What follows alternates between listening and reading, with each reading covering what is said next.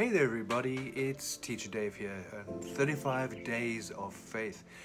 Thank you, Apostle and Prophet, for giving me this opportunity to just share something that the Lord has placed on my heart.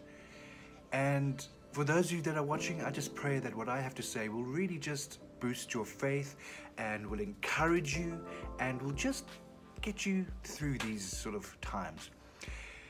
You know, up until two, three days ago, I had a full beard going. Uh, my hair was a mess and everything was an absolute disaster as far as my looks go. Basically, because I just dropped everything looking after myself physically. Um, it was so much easier just to roll out and take the path of least effort to do things. And it was amazing, you know, because I suddenly thought, you know what? When this is lifted up, when this shutdown is changed, I'm going to have a huge amount of work to do to get myself prepped for what's to come. And so I thought, you know what? Let me do something. Let me actually do something positive now. In the midst of all this darkness around us, in the midst of this not too sure what's happening, in this feeling of being locked down and shut down, then the best thing I could do was actually prepare myself for when this shutdown is lifted. And it just reminded me of how the Lord has always been so faithful. I mean, we know that in Psalm 23, even if we walk through the valley of the shadow of death, the Lord is with us. And on more than one occasion, I have been led to Isaiah chapter 60, verse 1 and 2. Now, we know these um, verses, but I want to read them to you again just in case.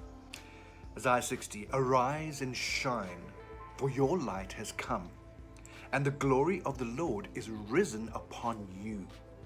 For behold, darkness shall cover the earth, and deep darkness the people. But the Lord will rise over you, and God's glory will be seen upon you. Now that got me thinking, you know, in the midst of all this sort of um, insecurity that we're feeling, in the midst of all the doubts that we're feeling, um, in the midst of being trapped in the prison of our minds for some of us, it can be very difficult to actually remember that God has got this. Doesn't matter what we're going through now. Doesn't matter what um, we're experiencing now, because God will triumph throughout all this. And I believe that it's up to us as believers to exercise our faith practically by doing things now for the future. Um, an act of faith can result in the outflow of the Holy Spirit in the most incredible power and authority. And that's what we need to do. We need to actively practice our faith now. Um, and it got me thinking about something that Paul said. And this is quite good as well, because this is something that really ties in for me today. And it's Romans chapter 5, from verse 3 we glory in tribulations, knowing that tribulation produces perseverance. Perseverance, character, and character, hope. And here's the important part, verse 5 Hope does not disappoint, because the love of God has been poured into our hearts by the Holy Spirit who has been given to us. So I just want to encourage you now to practice your faith in times when things seem darkest, in times when things seem frustrating, when you are feeling like, ah, and you've let things slide and you let things go, practice your faith. Because this is the time. Faith is brilliant through times of comfort and ease, but faith grows and is developed through times of trial and stress. So use this opportunity now. Spend time in the Word.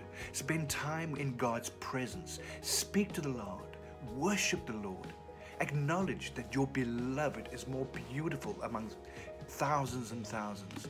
And just acknowledge the Lord for who God is and what God has done in your life.